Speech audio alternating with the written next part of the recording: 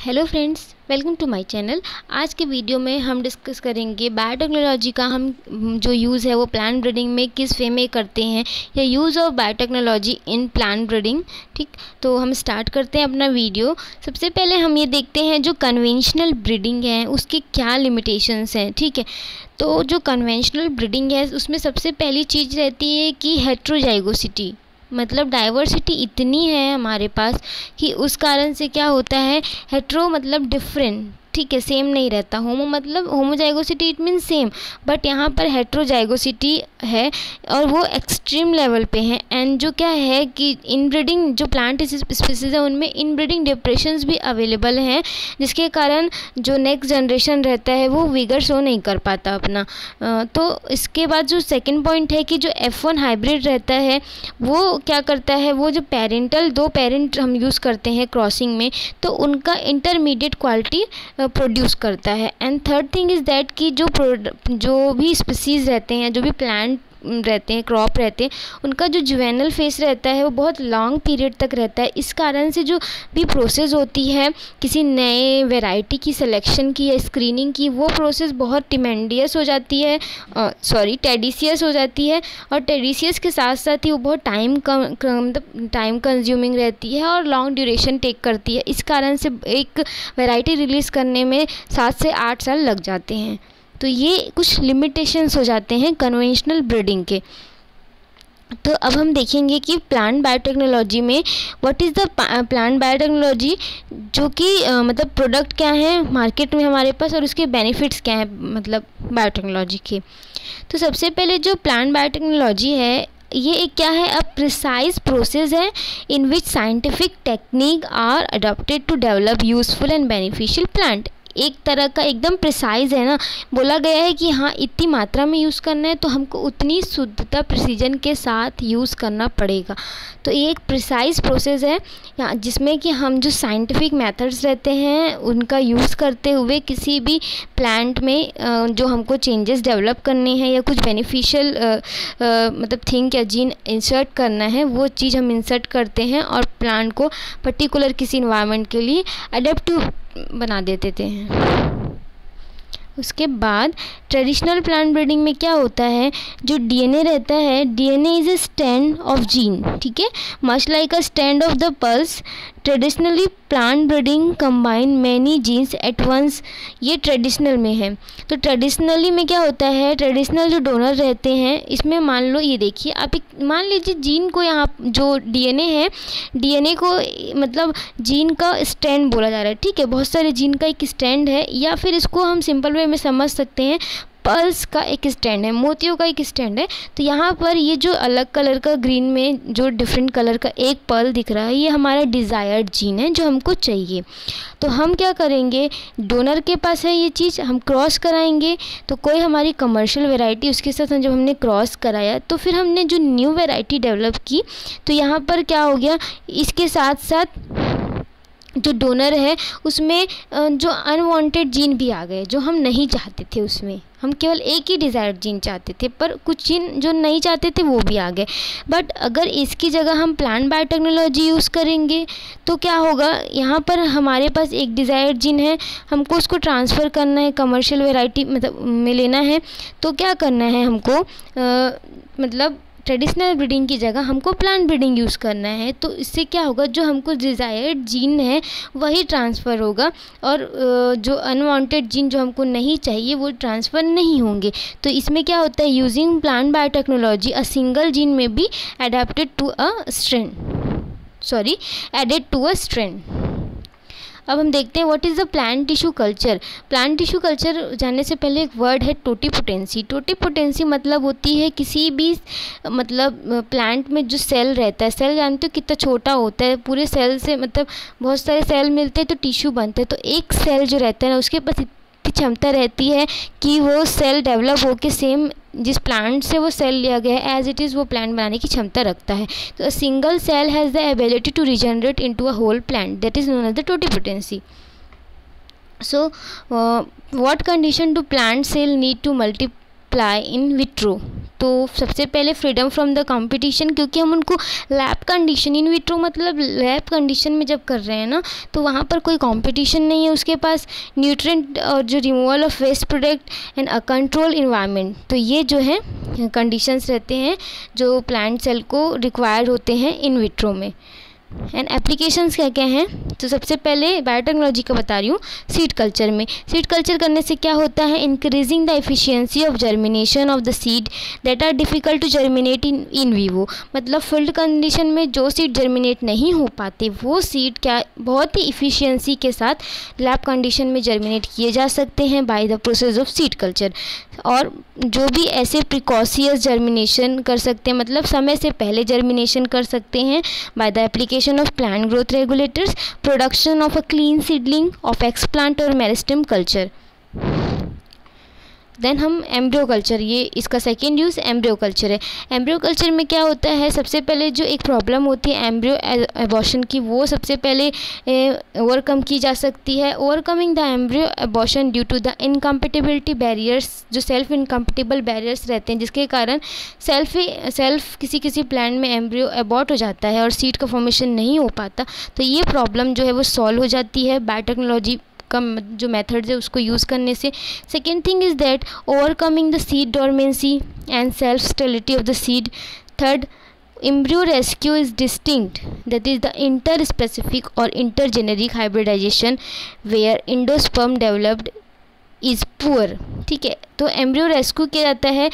Endosperm जो रहता है, वो प्रोवाइड करता है न्यूट्रिएंट ठीक है? जब जब तक एम्ब्रियो एक सेल्फ प्लांट में डेवलप नहीं हो जाता, जब तक उसके पास खुद की क्षमता नहीं रहती भोजन बनाने की, तब तक जो है एंडोस्पर्म में जो संचित भोज्य पदार्थ रहते हैं फ़ूड रहते हैं, वो एम्ब्रियो ट्रांसफ़र कर सॉरी एंडोस्पर्म ट्रांसफ़र करता है एम्ब्रियो को। बट जिस, कोई भी ऐसा मान लीजिए हमको डिज़ायर्ड प्लांट चाहिए, उसका हमको पता है कि एंडोस्पर्म बहुत पुअर क्वालिटी का या डेवलपमेंट अच्छे से नहीं हुआ है तो प्लांट जो सीड हमको लगाना है, वो सीड मर जाएगा क्योंकि सीड में एंडोस्पर्म डेवलप नहीं हो पाया। तो हम क्या करेंगे एम्ब्रियो रेस्क्यू कर लेंगे एम्ब्रियो को निकाल कर हम उसको पर्टिकुलर मीडिया में न्यूट्रन मीडिया में ग्रो कर लेंगे तो ये प्रोसेस से हमारा जो रहेगा एम्ब्रियो बच जाएगा और हमारा सीड डेवलप हो जाएगा। ये चीज़। उसके बाद है shortening of the breeding cycle क्योंकि जो कन्वेंशनल मेथड इससे पहले भी मैं मैं बताई कि बहुत लंबा होता है तो इस प्रोसेस से क्या हो रहा है, जो हमारा ब्रीडिंग साइकिल है, जो बहुत सालों साल चल रहा था, वो हम कम कर रहे हैं। अब हमारा थर्ड है ओव्यूल या ओवरी कल्चर तो यहाँ पर हम सबसे पहले एन नंबर मतलब हेप्लॉइड प्लांट्स ठीक है एन नंबर प्लांट्स डेवलप कर सकते हैं पॉलिन या फिर ओव्यूल का यूज़ करके तो प्रोडक्शन ऑफ़ हेप्लॉइड प्लांट्स इसके अलावा a common explant for the initi sorry initiation of the somatic embryogenic culture and the overcoming the abortion of embryo fide hybrids at very early stage of development due to the incompatibility barrier same चीज़ है। In vitro fertilization for the production of distinct hybrids avoiding style and sorry stigmatic incompatibility that inhibit the pollen germination and pollen tube growth तो जो in vitro fertilisation है, वो basically क्यों किया जाता है? कुछ ऐसे जो स्टाइलिस्ट स्टेगमेटिक जो इनकम्पेटिबिलिटी बैरियर्स रहते हैं, उनको अवॉइड करने के लिए हाइब्रिड्स में, जिससे क्या होगा पॉलन का जर्मिनेशन और पॉलन ट्यूब का ग्रोथ जो इनहिबिट हो जाता था, वो सही रूप में हो पाएगा। उसके बाद है हमारे पास एंथर या माइक्रो माइक्रो पोर कल्चर माइक्रो जो एंथर है, उसमें क्या होता है? Production of haploid plant same चीज़ है इसमें भी. Production of the homozygous diploid line through the chromosome doubling हम क्या करते हैं? क्रोमोजोम डबलिंग करके same homozygous diploid line produce कर सकते हैं by the use of anther culture thus the reducing the time required to produce the inbred line and uncovering the mutation और recessive phenotype organ culture में क्या होता है, कोई भी प्लांट का ऑर्गन है that can serve as a explant to initiate culture अब हम सूट एपिकल मेरिस्टम कल्चर देखते हैं। इसमें, इसका यूज़ करके हम वायरस फ्री जम प्लाज्मा का प्रोडक्शन कर सकते हैं। तो जो मास प्रोडक्शन होता है mass production of desirable genotype मतलब जो जीनोटाइप हमको चाहिए, उसका हम मास प्रोडक्शन कर सकते हैं, बहुत ज़्यादा मात्रा में, लार्ज मात्रा में प्रोडक्शन कर सकते हैं। इसके अलावा facilitation of the exchange between the location मतलब प्रोडक्शन ऑफ़ हमको क्लीन मटेरियल मिल रहा है क्योंकि वो वायरस फ्री रहेगा। Cryopreservation it means cold storage cryopreservation बहुत तरह का होता है, ठीक है? तो उसका मतलब स्टोरेज भी कर सकते हैं कोल्ड में and in vitro conservation of germplasm भी कर सकते हैं। अब हम देखते हैं सोमेटिक एम्ब्रोजेनेसिस इसमें क्या होता है कि one major part of free generation ठीक? मास मल्टीप्लिकेशन भी है प्रोडक्शन ऑफ़ आर्टिफिशियल सीड हमको आर्टिफिशियल सीड प्रोडक्शन करना है तो हम सोमेट्रिक एम्ब्रोजेनेसिस में जाएँगे। और मतलब प्लांट का कोई पार्ट रीजनरेशन करना है तो सबसे बढ़िया सोर्स है ये। At source material for the embryogenic protoplast and amenable to mechanization and for the bioreactors अब हम देखते हैं embryogenic culture system for Vitis के लिए। सबसे पहले लीफ एक्सप्लांट लिए हमने, उसके बाद initiation from the leaf of, sorry, leaf on the N B two medium. हमने medium N B two medium लिया था। एक्सप्लांट क्या है? लीफ मतलब लीफ को एज ए एक्सप्लांट लिया, एम्ब्रियोजेनिक स्केलस देखिए डेवलप होने लगा and then embryo development start हो गया। तो ये क्या है? एम्ब्रियोजेनिक कल्चर है, विटिस में। विटिस मतलब जानते हैं ना अंगूर में। देन ऑर्गेनोजेनेसिस ऑर्गेनोजेनेसिस में क्या होता है, ये भी एक मेजर पार्ट है रिजनरेशन का। इसका भी मास मल्टीप्लिकेशन किया जा सकता है और इसमें क्या होता है conservation of germplasm at either normal और सब ज़ीरो अब यहाँ पर आप देखिए initiation from the stamen and pistil stamen से और पिस्टिल से कैसे इनिशिएशन स्टार्ट होता है? तो सबसे पहले हमने एक्सप्लांट किसके रूप में लिया? स्टेमेन के रूप में।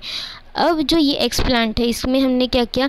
कैलस फॉर्मेशन होने लगेगा फ्रॉम द कनेक्टिव जो टिश्यूज़ है, उस, उसके द्वारा कैलस फॉर्मेशन होगा। और ये जो कैलस फॉर्मेशन रहेगा, ये क्या करेगा? फिलामेंट टी फॉर्म करेगा एंड देन एम्ब्रियोजेनिक कैलस बनेगा। ये एम्ब्रियोजेनिक कैलस एम्ब्रियो में डेवलप होगा और एम्ब्रियो क्या होगा? जर्मिनेट हो जाएगा। This is the whole process of the initiation of from the stamen and pistil in vitro mutagenesis क्या होता है? इसका यूज़ करके हम पॉलीपोलाइडी इंडक्शन करते हैं एंड साथ ही साथ जेनेटिक वेरेबिलिटी का इंट्रोडक्शन भी होता है। तो जेनेटिक ट्रांसफॉर्मेशन इसमें क्या है? Introduction of the foreign DNA to generate the novel genetic combination हमको कोई डिज़ायरेबल कॉम्बिनेशन चाहिए तो हम क्या करेंगे? बाहरी जो मतलब फॉरिजन डीएनए है, किसी और प्लांट का डीएनए किसी और प्लांट में इंसर्ट करेंगे या इंट्रोडक्शन करेंगे, ताकि हमको नोवेल तरह का कॉम्बिनेशन मिल पाए। Many different explant can be use depending on the plant species and its favoured method of regeneration as well as the method of transformation ठीक तो ये रीजनरेशन के मेथड को भी फेवर करता है और साथ ही साथ ट्रांसफॉर्मेशन के मेथड को भी फेवर कर रहा है। और ये डिपेंड करता है type of species plant species है उसके बेसिस पे और use to the study the function of gene तो इसका यूज़ इसलिए भी किया जाता है कि हमको जब जीन के फंक मतलब जीन का जो वेरियस फ़ंक्शन है उसकी स्टडी करनी होती है, तब भी हम जेनेटिक ट्रांसफॉर्मेशन का यूज़ करते हैं। ठीक है तो जेनेटिक ट्रांसफॉर्मेशन होता कैसे है, आप देख सकते हैं यहाँ पर। सबसे पहले एम्ब्रियो एक्सप्लांट है। उसके बाद हमने उसका क्या किया? कल्चर में उसको रखा एग्रो कल्चर देन हमने को कल्टिवेट किया फोर्टी एट आवर्स तक। देन हम उसके बाद को कल्टिवेट करने के बाद वॉश कर देंगे एक्सप्लांट को। उस, जब हम वॉश कर देंगे तो क्या होगा? कैलस इंडक्शन जो मीडियम रहेगा उसमें उसको ट्रांसफ़र करेंगे तो कैलस का फॉर्मेशन होने लगेगा। And then embryo development medium में रखेंगे तो एम्ब्रियो बनेगा। फिर उसके बाद सेलेक्ट करेंगे मतलब सेलेक्ट करेंगे हम transgenic embryo using the G F P N M P T second system का। एंड जो हमने सेलेक्ट किया उसका हम रिजन मतलब उसको हम रिजनरेट करेंगे ट्रांसजेनिक प्लांट के रूप में। तो ये पूरा प्रोसेस है जेनेटिक ट्रांसफॉर्मेशन सिस्टम का। एप्लीकेशन है जो इसके, ये है कि डिज़ीज़ रेजिस्टेंट के लिए हम यूज़ करते हैं।